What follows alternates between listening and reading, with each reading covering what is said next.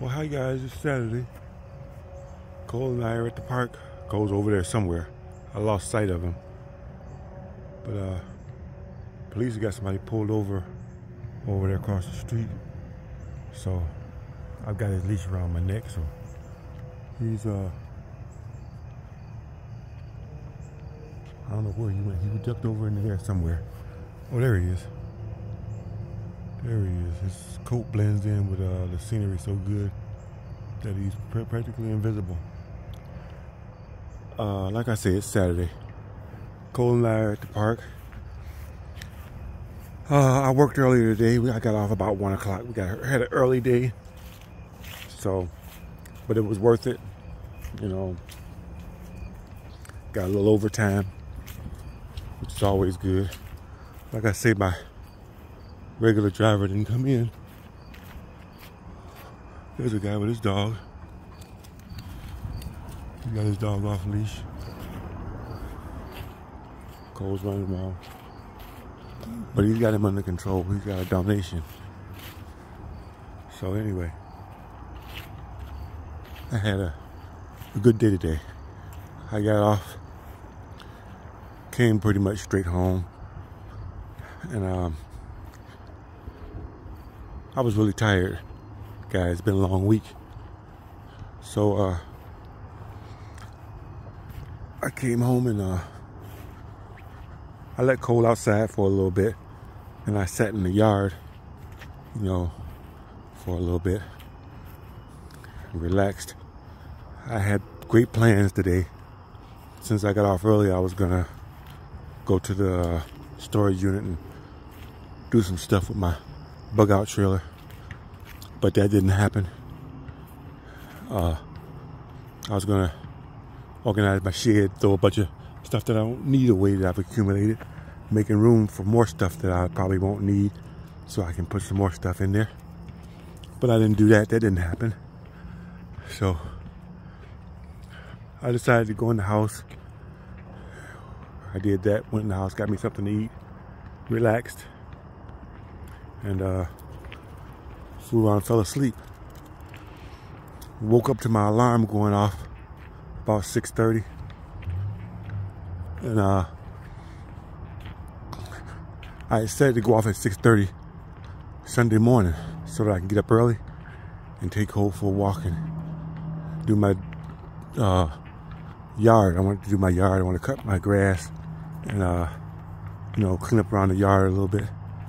Know, get some stuff done since it's my only day off. So uh, my alarm went off at 6:30 this afternoon, and I'm thinking it's 6:30 in the morning. I wake up, drag myself out of bed and whatever. I'm all stiff and sore, but I'm like, okay, here we go. My stiffness and soreness only last, you know, maybe the first 30 minutes after I get up. Then once I'm up and around, it goes away. So I get up. My bedroom is completely dark, guys. I've got it where it's, you know, no light gets in from outside. So it could be noon in the middle of the day. And it looks like it's midnight inside my room. But uh, my bathroom is right off the room. So I went to the bathroom, opened the door. Bathroom has a skylight in it, so sunshine shining through there. And I'm like, it's still morning. There's a, a girl over there walking her dog. She's got him on a leash. And uh, she doesn't trust Coal to act right. I'm gonna stop the video just for a minute. Well, not just to keep it going. Let you guys see how controlled Coal is, how good a dog he is. Or how bad. Get over here. Here. Right here. Right here. Here. Good boy. Good boy. Uh, uh, here. Good boy. Good boy. Good boy, Coal. Good boy. How you doing? I like your dog. Uh, you stay here. Here, here. See? Come on, stay with me. Okay, go. You did good. he did break uh, rank a little bit, whatever, but I'll allow that. So, anyway, upon opening the bathroom door, that uh, skylight with the light, natural light coming in from the sun, I realized that hey, it's not 6:30 in the morning. It's 6:30 in the afternoon, which I was overjoyed, guys. I love it when I think I, you know, I don't have no time to get up or whatever. I, you know, I don't have time, but I really do. I love that. So anyway, I went in the bathroom, realizing what time it was. I'm like, I got a few more hours of daylight. So I'm gonna get dressed. I'm gonna take Coal for a walk. It's too late to try to do anything with the shed because it'll be dark before I get anything done. And he hasn't been out of the house today. Well, he got out to walk around the yard for a little bit, but that's nothing. He needs to go to the park. So that's what I did. And that's how we ended up here at the park with him running around doing his thing. During the course of my working, guys, I see people with their dogs walking them around their neighborhoods, you know, on a leash, of course. And um, it's cool. You know, it's better than nothing.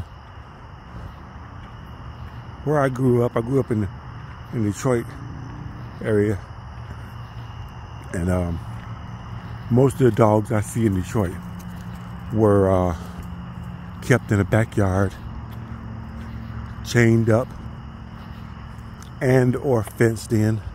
Some of them were chains and they had a fence around the yard because uh, most of those dogs are very dangerous. People get the meanest, baddest dogs in Detroit so that they can protect their house.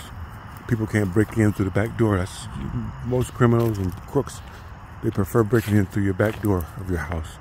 Nowadays, well, back then, that's how they would gain entry through the back door. But nowadays, they come through your front door in the middle of the day.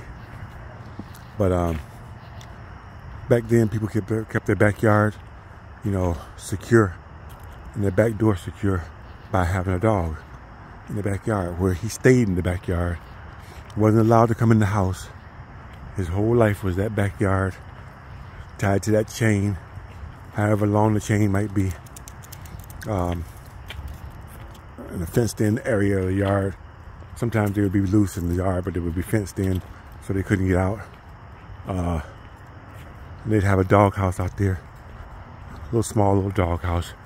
Just big enough for a dog to crawl up into, you know, and have a little shelter from the heat or from the rain or from the cold, you know. Sometimes they put uh, blankets in there so they could stay warm or some hay, or whatever. But for the most part, that was dog's life. They never, ever took him out that yard, took him for a walk, took him to the park, or any place else.